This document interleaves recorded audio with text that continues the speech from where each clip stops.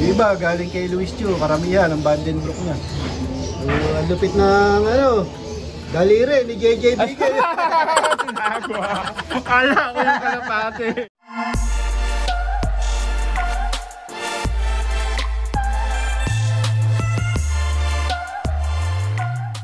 Yung mga kalapatids, may magbibigay na naman sa akin ng kalapate. Ayan. Di, ano yan, hiniram nila yan. Ano nga pangalan mo, sir? Daniel Cruz, Daniel Cruz. Ayun, si... Barako Eh, si, si ano to, si Daniel. Di, si Kuya Edmar. Ah, si Ed, ang Kuya Edmar, Edmar Cruz. Oo, oh, ano sila, combine. Combine ni Red Baron. Oo. Ayan. So, ano, si- isosoli niya tong ibon. Three times in three second. Oo, yun. Vandenbroek. Vandenbroek. Ilan, na, ilan ang nakuha niya anak dyan? Bali, yung isang anak nito, kuya, ayun yung pong partaker nung ano, nung Kalbayo.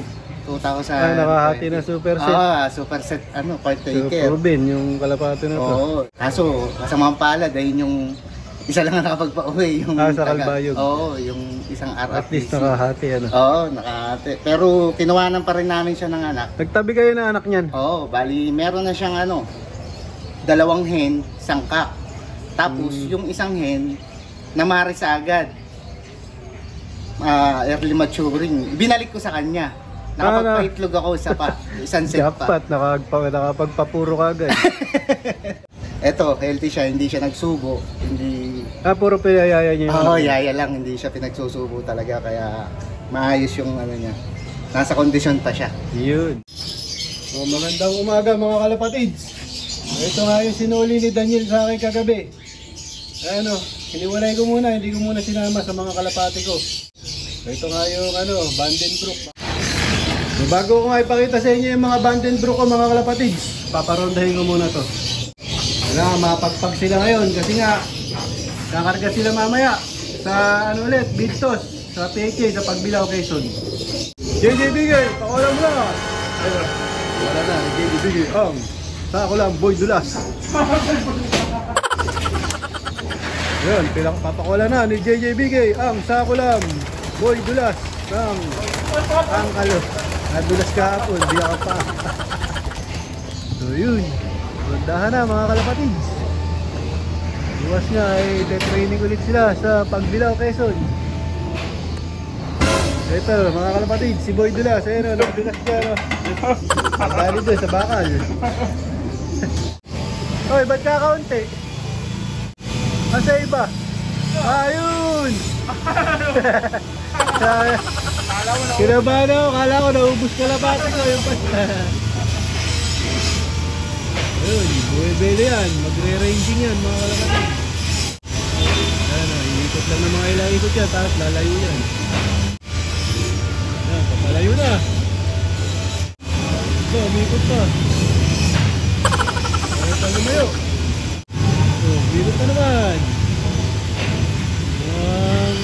Nila mag-ranging ngayon ah. Ayaw dumayo. Ah, sawa na sa ano. Sa ronda, gusto puro tos. Ayun, mukhang lalayo na mga kapatid. Papakita ko sa inyo yung Vandenbroek na lahi. So, tinatanong ni JJBK kung kanino daw galing tong ibon. Okay, ano? Kanino? Ano ba to? Ah, malabo na mata ko. Malabo na mata ko. Ay, basta Piracy. mo- Ha? Harisi.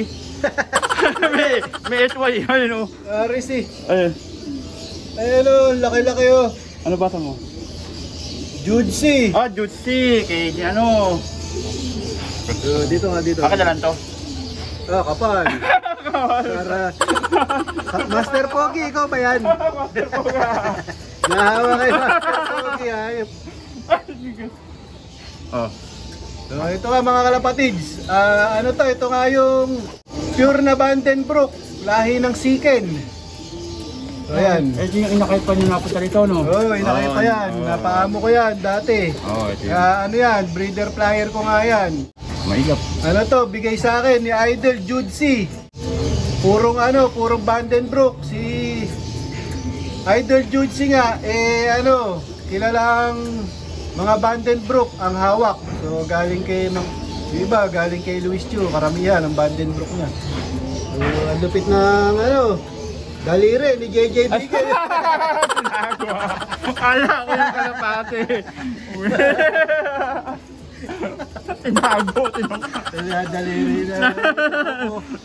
Oh, dali. Mga kalapatid, Jurassic yung buko ni JJ Bigay. Sa alam talaga, pati yung buko, Jurassic. So, Dali na. tayo? Ha? Nalimutan ko na wala. sasabihin ko. so, itong ang ibon na to, pinaris ko sa ibon ko, hindi gumawa. Ah, kumbaga, hindi ko na pa takloban yung mga anak.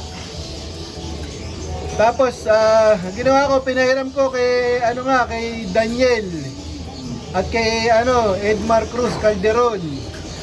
Nga, meron daw silang ano, Vandenbroek na lahi nung kay Luis Chu. So, pinahiram ko to. Itong ibon na to. So, naganak sa kanila ng ano to, nung last year, ng super set winner sa, sa MPC. Ayan, sa kanila nga gumawa itong ibon na to. Naipares sa kapwa niya, ano, sa kalahin, sa kalahin niya Vandenbroek. Ah, maganda yung ka ano niya ano, ka Oo. ka-pair niya. Oo. Nang tama yung pair nila ano. Sabi ko, paanakin niya ng paanakin para ah, kuhanan niyo ng kuhanan ng lahi. Tapos ano nga daw, napaanak niya na, nakapagpanak siya ng isang babae, tapos naiparis na dito, kumbaga nakapag-inbreed na sila. Pinuro ka agad ano. Oo, kaya sinoli na kahapon, kaya napunta na ulit dito to. Ngayon, may balak ako dito mga kalapatids. Ipaparis ko to dito. Yan, sa mga lahi ng ano, mga hindi purong ano to. Hindi mga purong Vandenbroek pero may mga dugo.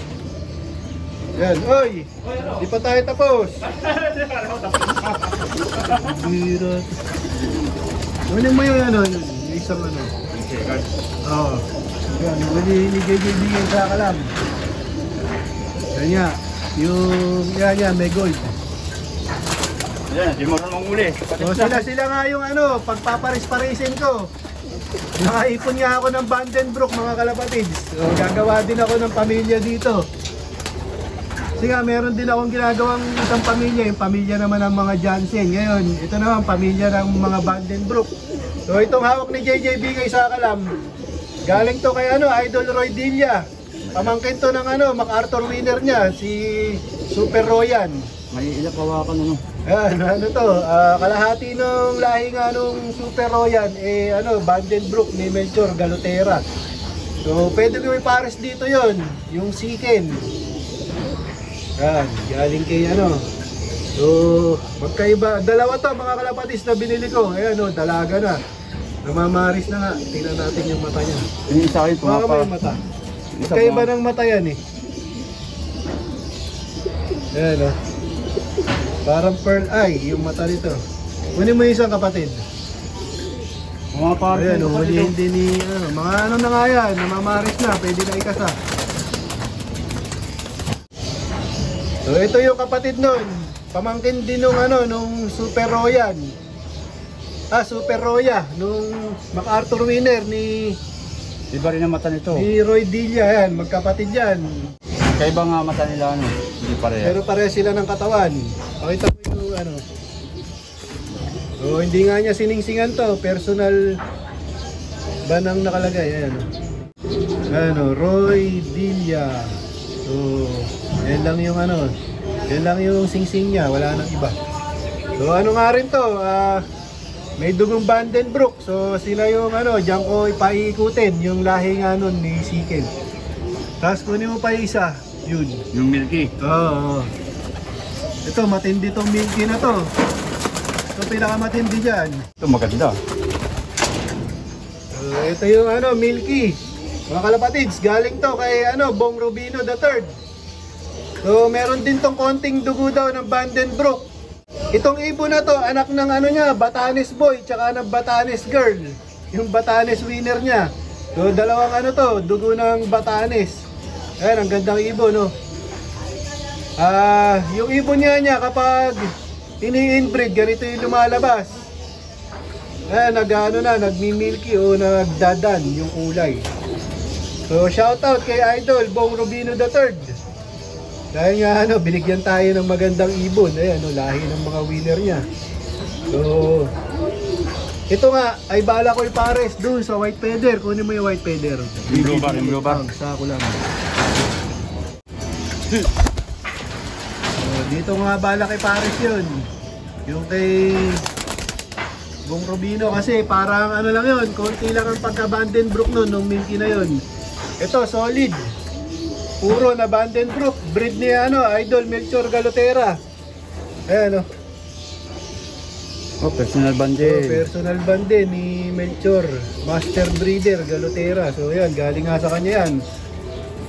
Pero ang kumuha niyan eh si ano, Eddie Alcaraz. So binigay sa akin. Binili tapos binigay sa'yo. Ah, ang bait ano. so shout out kay Idol Eddie Alcaraz. Ayan. Totoo kasi kanya talaga to, hindi uh, binigay sa akin. Ito, solid na Vandenbroek. So, doon ko nga ipaparis yan doon sa ibon ni Roy Villa kasi magkakamag halos ano yan ay hindi ito white feather tsaka yung dalawa kong pinakita kay Roy Villa magkakamag-anak yan Ah, yung milky lang, hindi. ah pero Vandenbroek din yun huli mo yung brown Yung brown, yung puti. ito naman ano Vandenbroek din lahi din ng mga Vandenbroek ito ayan o yung may puyo kaya, kaya nagkapuyo yan ano na mali na yung dugo Puro na. So, yan yung ano. Sabi nga, kapag nag-inbreed kayo at ganito lumabas, may mga prill, eh, tago nyo na. Kasi nga, mas magaling sila ano daw, breeder. Mahina silang racer. Sa mga ano yan ha, sa mga puro o mga inbreed. Pagka, kaya naglabas ng prill o kaya yung may pulok sa ulo. So ito, yung lahi nga nito, eh, yung kak, eh, galing din kay Idol Melchor Galotera. Vandenbroek, tapos yung kaya naging brown yan, yung nanay niyan ay galing kay Master Pogi, yung binili niya ng ano, champion ng Kalbayog.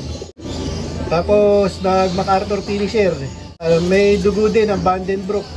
So ito ang ibon na to eh ano, sure cock na. Kasi may ano siya, pakita mo yung buntot. Ano, may mga Ah, may itim, na. itim. Pagka yung mga brown nyo, mga kalapatids, nagkaroon na ng bahid na mga itim, sigurado cock yun. So yan ang mga palatandaan ng brown. Kaya madaling ano, madaling makita sa brown kapag cock o hen. Yun. So yan. Tapos na naman ako. So yan yung mga pagpaparis-parisin ko. Bala kong gawa ng pamilya. Pamilya ng mga Vandenbroek. So pag kami, siguro pag kami nanalo sa kanila, saka ako ipapasok doon nga doon sa mga lahi ko. Pero sa ngayon, sila-sila muna yung bala kong ano, pagparis-parisin. Tama, ani man. So, ibalik mo na yan doon, si si Ken. So, dito ko natatapusin ang video ko para sa araw na to mga kalapatids. Keep safe, God bless. Ingat, mga kalapatids.